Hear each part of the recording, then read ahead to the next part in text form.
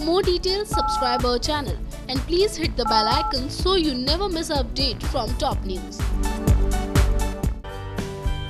Star Plus के show Yeh Rishta क्या कहलाता है कि कहानी में छह महीने का लीप आने वाला है जिसके बाद क्या कुछ होगा शो में खास ये सब हम आपको बताएँगे लेकिन उससे पहले आपको हम ये याद दिला दें कि कैसे शो की कहानी में इन दिनों काफ़ी सारा ड्रामा दिखाया जा रहा है जहाँ नायरा की सर्जरी से पहले अब शादी करवाई जा रही है लेकिन अब हम आपको एक ऐसी चीज़ बताने वाले हैं, जिसे सुनकर आप सब चौंक सकते हैं। तो चलिए आपको बताते हैं कि अब कार्तिक और नारा की राहें हो सकती हैं अलग। जी हाँ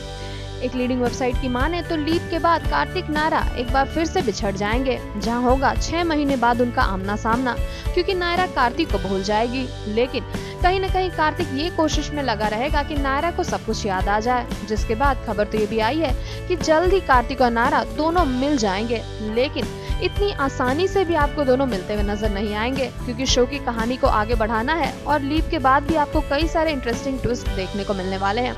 जहाँ से आने वाले ट्रैक में देखना काफ़ी मज़ेदार होने वाला है कि आखिर कैसे कार्तिक नारा का होगा इस बार मिलन और कैसे कार्तिक नारा एक बार फिर से अपने कहानी में सब कुछ ठीक करेंगे। ये सब जानने के लिए बन जाए साथ फ़िलहाल कुमार स्टोरी में बस इतना ही। और भी अपने फेवरेट शो ये रिश्ता का कहलाता है जो लेटेस्ट अपडेट्स और अपकमिंग ट्विस्ट को जानने के लिए सब्सक्राइब करना बिल्कुल मत भूले हमारा channel Top News just for you